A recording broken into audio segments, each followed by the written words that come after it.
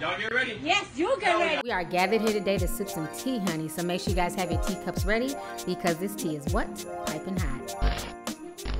Hey you guys, it's your girl Tina. I hope you guys are doing good today. So as most of you guys know, I am out here in LA, honey. Yes, I'm on vacation. And you guys saw me post a picture earlier with the beautiful Tasha K. We are out here. We're getting ready to go to VidCon. I got my little VidCon bracelet on. So I cannot wait to meet a lot of you guys who are going to be at VidCon tomorrow. But anyways, I still want to come on here and spill some tea for y'all, okay? So I know a lot of y'all have been wanting a lot of updates concerning the whole XXX situation. So if you guys do not know, they had a memorial service for him yesterday in LA on Melrose, and it went crazy, okay? It was off the damn chain. Kids were piling on top of cars. It turned into a mini riot. And this was not only just in LA, it also happened in NYC as well. Folks are going crazy behind this young man's death. I want you guys to go ahead and check out these videos. I'm to come back with the rest of my commentary.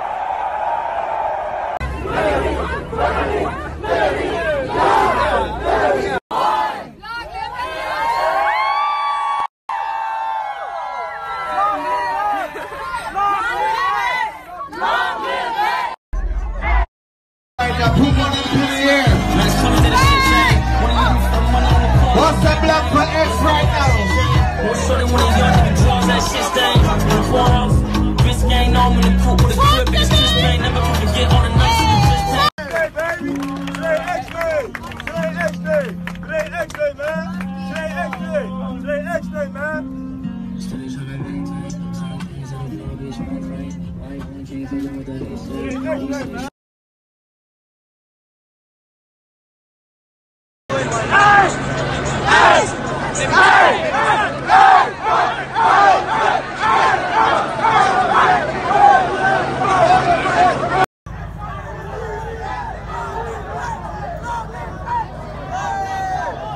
live X. Long live X, bro.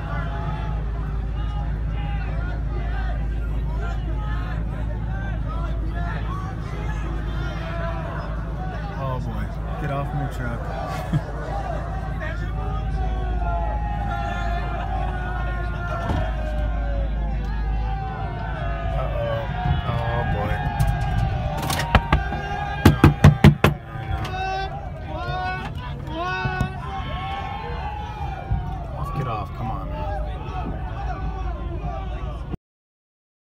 tonight with breaking news in the Fairfax district. Hundreds of people taking over Melrose Avenue tonight, shutting it down so they can hold a memorial service for a rapper shot dead just yesterday. And this is a live shot from Sky 9 right now. The LAPD has declared an unlawful assembly and told everyone to clear the streets. We are live both in the air and on the ground. Let's begin tonight with KCAL 9's Jeff Nguyen. Jeff. Well, Susie and Jeff, you mentioned that unlawful assembly. Let me show you the uh, LAPD out here right now. They've got their gear on, and down the street, you can see there are still a few hundred people in the middle of uh, Melrose near Sierra Bonita. Let's go ahead and show you some aerials from earlier where hundreds of people had gathered for this memorial for the rapper XXX Tentacion, who was uh, shot and killed uh, just yesterday. Uh, let's go ahead and show you some pictures of him. The uh, shooting happened in Miami as he was leaving a motorsports store. Uh, we spoke to a number of kids out here. Most of them seem like they're from high school, and they say that his music really resonates with them because of a number of issues such as suicide and depression. Let's uh, listen to one of the young people who was here for that memorial that spontaneously happened on Melrose earlier. He's a very inspirational person to me and his music really helped me through like really tough times in my life.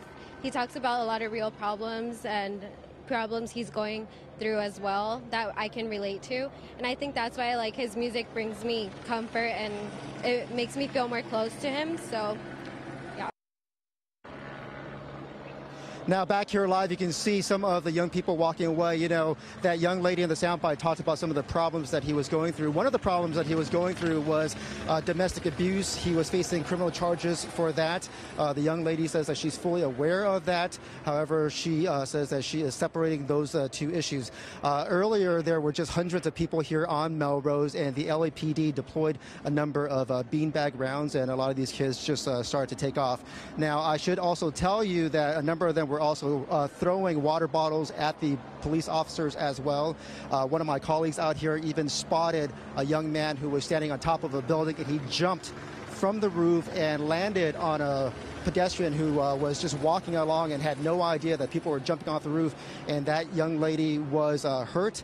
Uh, she was taken away by paramedics. So uh, even though this is a memorial for a dead rapper, we can tell you that this is a serious matter because when you have hundreds of people clogging up the street like this, uh, with all of the energy that's uh, going on with some of these kids, LAPD had to come in, and right now they are holding this line. They have been basically pushing all of these kids from about Melrose and Fairfax towards the uh, La Brea area, if uh, you know this area. All right, so you guys just saw that really disturbing footage. So it was a mess out here in LA yesterday. So now on top of that, we all know his ex-girlfriend. Her name is Geneva Ayales, and basically she's the one who initially filed charges on Triple X and said that he beat her while she was supposedly pregnant. It's been all types of stuff, and a lot of fans have been coming at her. People assume that she'd be happy that he was dead, and she took to social media to basically dead the rumors, no pun intended, to let folks know that she's not celebrating his death and that in fact she's very hurt by his death. I'm to go ahead and read to you guys what she wrote on social media. Go ahead and check this out. So she goes on to say, I know y'all don't fuck with me, but this isn't about me. Just stop tagging me in disrespectful threads and arguments. I honestly don't care for any of the hype. I lost somebody close to me. Leave me alone. Then she goes on to say, It's disgusting that people are speaking for me. I don't care if nobody cared about me however many months ago. I didn't lose my life. He did. It's permanent. I'm still here. Like, how do you think that makes me feel? Everyone expected me to be relieved or happy. No, I'm broken. So that's what she said on social media. So yesterday she decided to go to the memorial out there in LA. And so she went to the memorial and she put like something down at the memorial. She put down a globe. She had a sign and everything else. And then what happened is that a bunch of his fans basically went off on her and they ended up burning the memorial, okay? And she was just simply devastated behind all this. This entire situation is crazy. Go ahead and check out this video.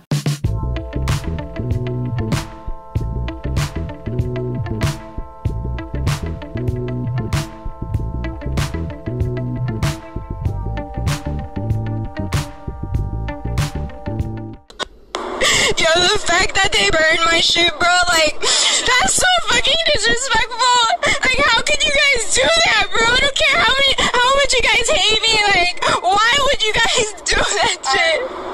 All right, so you guys just saw what Geneva had to say. And of course, she's really hurt. She's really heartbroken. But now, if that's not crazy enough, Do you know that this girl literally got into a fight at the memorial? She found one of the girls who burnt down what she left for XXX, and then she proceeded to whoop the girl's ass, okay? So Geneva is somewhat ratchet her damn self. Go ahead and check this out.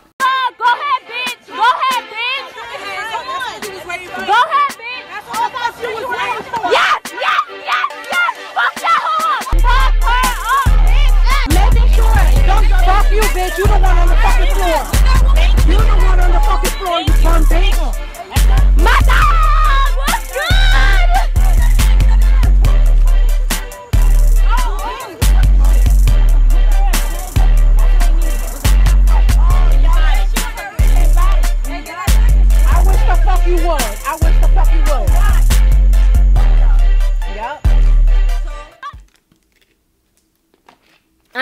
Damn teacup, okay? So I had to settle for a water bottle. Anyways, y'all just seen that damn fight. You know what I'm saying? This don't make no damn sense. What I'm hearing, I'm hearing a lot of different things on social media. I'm hearing that she supposedly retracted the whole thing, that he did not supposedly beat her. And then there's also rumors being spread stating that she was never pregnant and that supposedly, you know, doctor statements were released saying that she was not pregnant by him, that she was never pregnant during that situation. So I don't know how much of that is true or if that's just some of his fans spreading rumors. I'm not sure. But that's what's floating around social media is that he did not beat her and she was not pregnant. So I don't know. But I do find it really disturbing that her Instagram handle is liar. Like, you know what I'm saying? It's hard for me to take her seriously when she's out here fighting, being ratchet, and, you know, calling herself liar on Instagram. And my thing is, if you want your peace, if you don't want to be bothered, then stop posting everything onto social media. Stop taking to your Snapchat. Stop taking to Instagram. Stop letting the world know what you're doing. Had she not posted that she was leaving something at his memorial and posted what it was, the fans would have not known anything. So, my personal opinion, because tensions are super high right now, this young woman needs to be careful, okay? Because a lot of his fans are angry and they're really mad at her because they feel like she, you know,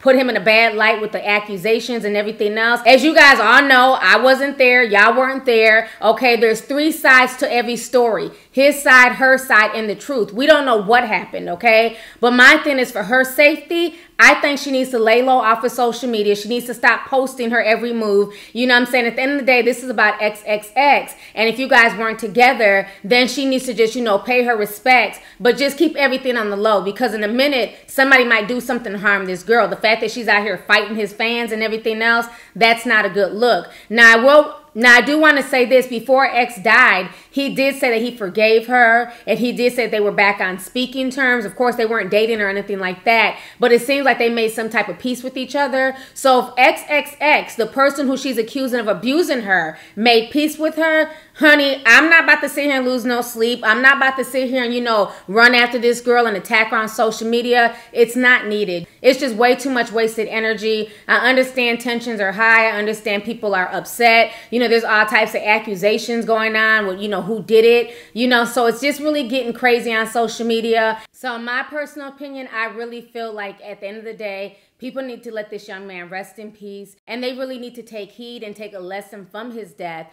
And they also need to realize that he left a positive message at the end of the day, and folks need to focus on that. I'm just so tired of everybody, you know, showing out, you know, rioting, turning over cars, and acting crazy now that this young man is dead. Why didn't a lot of these people show him the same amount of love in life as they did in death? Even with some of these celebrities, I've never heard them tweet anything about him, really even acknowledge him. But now all of a sudden he was an inspiration. All these celebrities are sending all these well wishes, and you know, we're gonna miss him. He was so inspirational, he was so talented.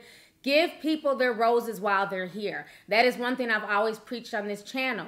Don't be on some, you know I'm saying, reflection type shit. Give people their roses, their just due, their credit. Show them love while they're here. You know what I'm saying? That's when it really matters. Not after they're dead and gone and they can't, you know, speak back to you or truly acknowledge it. So, in my personal opinion, I think that's what a lot of people should take from this death is that folks need to give people their props, praises, and roses while they're here to smell them. So, anyways, y'all, let's go ahead and get the discussion popping. Go ahead and leave a comment. Let me know your thoughts on this entire sad situation concerning XXX and folks going crazy, rioting, and just, you know, being off the chain, doing these little memorial services that different fans were holding for him? And then how do you guys feel about his ex girlfriend, Geneva? You know, not only constantly coming onto social media to talk about the situation, but then getting into a fight at the memorial service with one of his fans. So let's go ahead and get the discussion popping. Go ahead and leave a comment. All right, deuces. Hey you guys, it's your girl T and I hope you really enjoyed that video. If you want to know more about my look of the day or if you want a way to contact me concerning advertisement and sponsorship deals, definitely feel free to click my description box. There's plenty of information in there. Please stay tuned for the next video. Talk to y'all later.